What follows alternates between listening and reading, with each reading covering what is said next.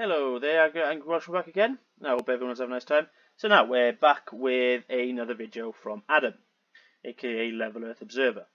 And again, he's got it in his head that he's figured something out because he seems to love this SR-71 Blackbird.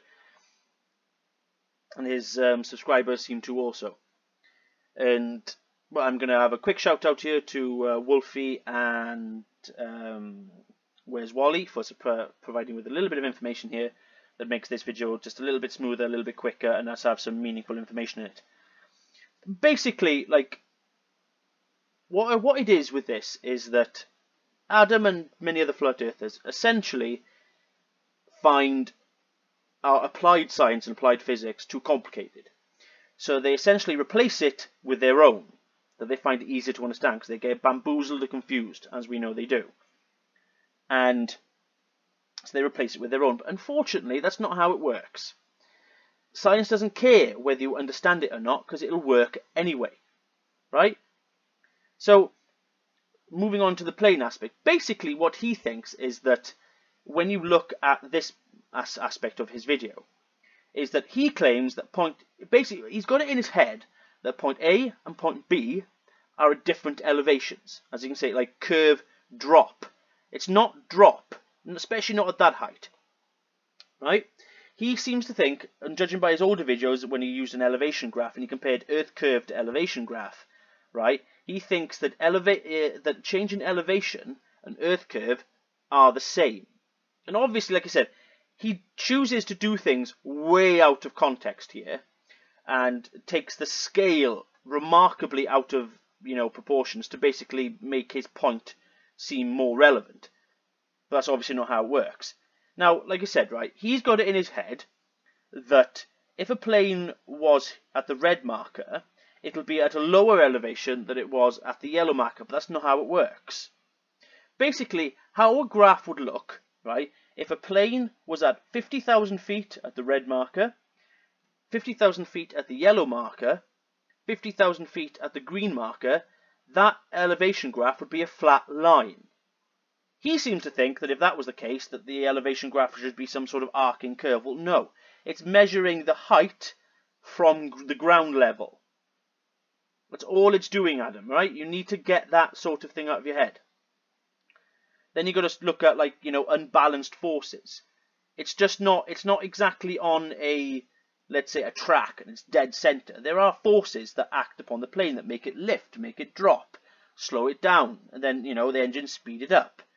It's just how planes work.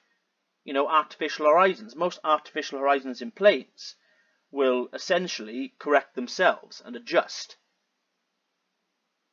And the problem is that they don't really take any of this into consideration at all.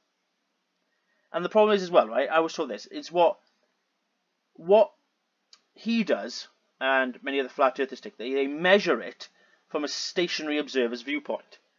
Basically, the basically obviously from his point of view, it looks like the plane is the increase in drop, but obviously the plane is still at 50,000 feet, right? But from the plane's perspective, it's just maintaining an altitude the entire time.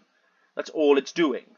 So basically, level Earth's observer's applications of maths, whether it's correct or not, is actually completely irrelevant and I've I have seen Wolfie and um, uh, Wally talk to him about this, and he, they do mention this to him many times. But it goes, it's like Concorde and SR seventy one essentially. It's like irony.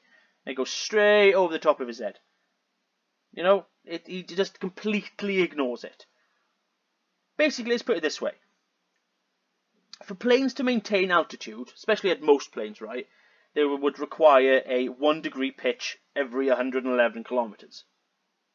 That's pretty much the rough, uh, you know, rough point of it all.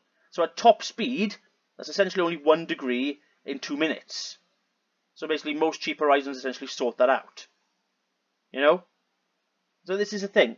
His his entire argument is completely irrelevant, and he's basically just choosing to ignore many aspects of physics here. Right? This is simple. This is just simple facts here. There is no elevation change, there is no drop. All the plane is doing is maintaining an elevation. Right, so let's just put it this way. Let's just give you an example of, let's say, a hammer throw. You know that ball on a chain. Now, if you swing it and you keep your stance, so you know you're swinging it and swinging it and swinging it, so you're turning your body, you're just your feet are moving and you're holding it out, right? That makes a circle, doesn't it? I know the chain, and the chain represents the gravity here. But does that ball at the end need to actually pitch or do anything to actually go around?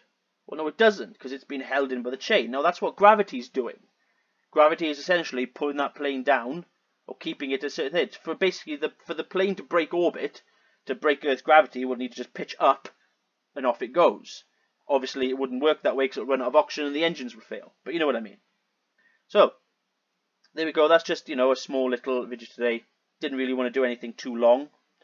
But essentially what this video is, is that all of Adam's arguments are completely irrelevant. Okay, so I'm going to go off and watch some Six Nations. um, Wales aren't playing until tomorrow, but England are um, playing Scotland later, and that's going to be an interesting one to watch. So, hope everyone keeps safe. I'll see you all again soon. Goodbye.